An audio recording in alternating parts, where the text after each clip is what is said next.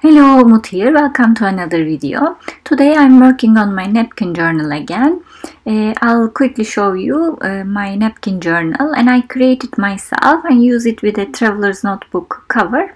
I have a video where I show how I create it so I'll link it down below at the description area. Today I have one of these uh, gorgeous napkins that I got from napkin shop. Um, I thought I never used the napkin with a black background so uh, I can I can show you what uh, how I would treat it um, and uh, I hope it will be useful and give you inspiration. I have this beautiful uh, jungle background and because the background is black I'm going to uh, create a night scenery in my in my mind uh, and also uh, I have a discount code from Napkin Shop where I buy my uh, napkins and rice papers. I recently did another haul uh, from them uh, and I'm going to put uh, the link down below to the shop and my discount code if you want to take the opportunity to make a little shopping for yourselves. I tore a couple of pieces of this napkin and I'm going to stick it on my napkin on my page with a matte medium. I always use matte medium to glue down my napkins. Uh, after I glue it down, I also go uh, over my napkin to make sure I can also work on them if I want to. I'm not so uh, uh, precious about the wrinkles and I need to glue it down perfectly.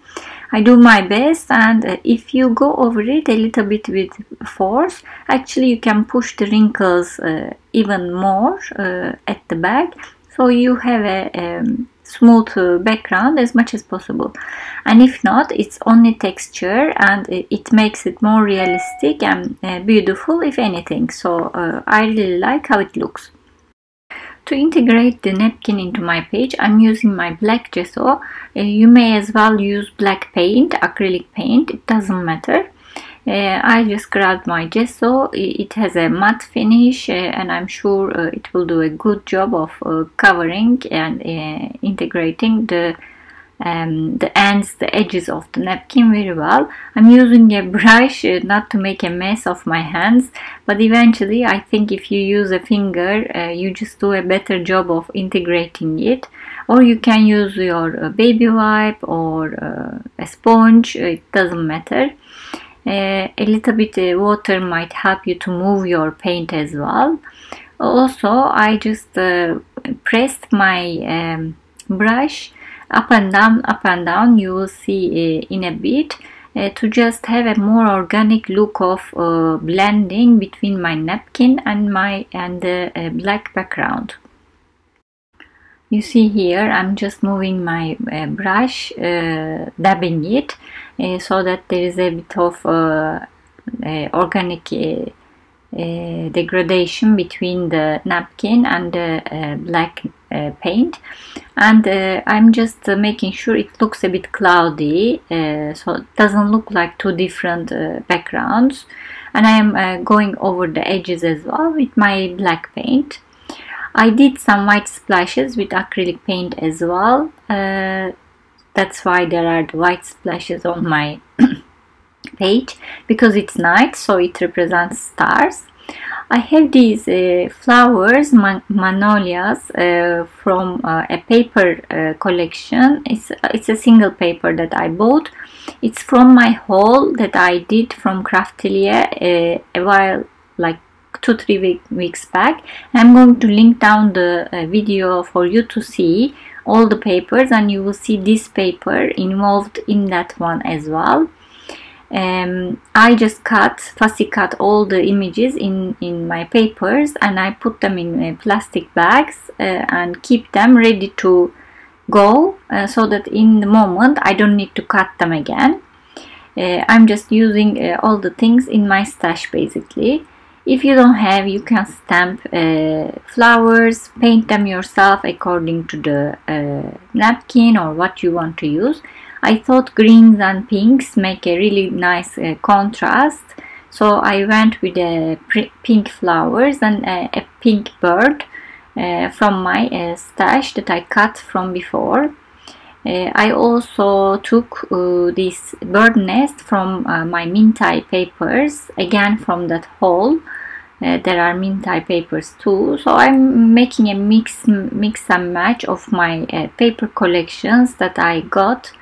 Um, so using my stash basically, uh, I'm just gluing down my flowers, making a, a composition with them uh, at the uh, black parts of my page also my bird and this nest is from a different collection but I thought it looks really nice and I decided to use the green eggs instead of the ones inside because green goes well with the green leaves. Uh, it's a small change but uh, I thought it looks so much more uh, nicer. Uh, I'm using flowers here too a little bit less than the other corner. To make these kind of balances you can uh, the eye always wants a balance towards one side so I always keep the weight uh, on one side and uh, do the same like use the same colors on the other side but less elements. Uh, in that sense you have a very good balance and the uh, eye can focus uh, but there will be balance at the same time. I hope I am making sense uh, so I'm just uh, gluing down more leaves. I'm using a normal uh, glue that dries clear uh, so that there's no mess on my uh, page.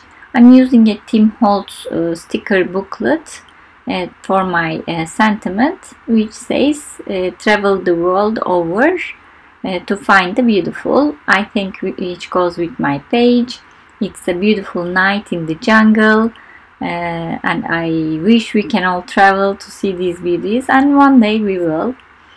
Uh, I'm just using a silver stickles uh, to make more stars uh, and I think it did such a it, it made such a difference it, it just sparkles so nicely and uh, makes the scenery even more beautiful I hope you enjoyed this quick and easy page with uh, napkins. I know you love my napkin journals, so I'm trying to make them as often as possible. If you like it, please don't forget to subscribe, leave a comment or uh, like, hit the like button. It helps the channel a lot and YouTube uh, understands and uh, brings you more of my videos when I publish them. Thank you so much for watching and see you next time.